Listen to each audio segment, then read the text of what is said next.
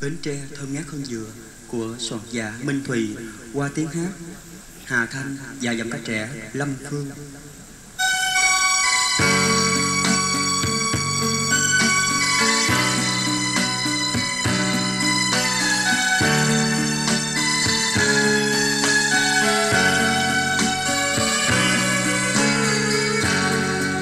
trong đất đất em đèn trong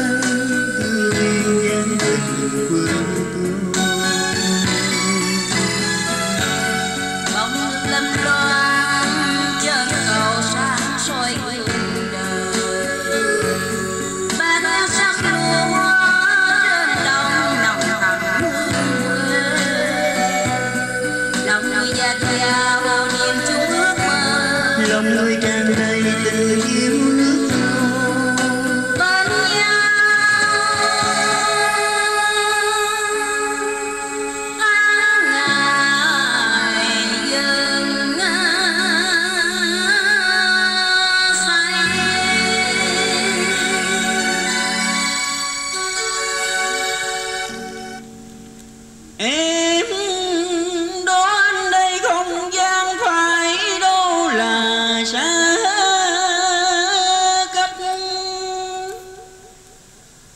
Một góc quê hương lòng ta không chia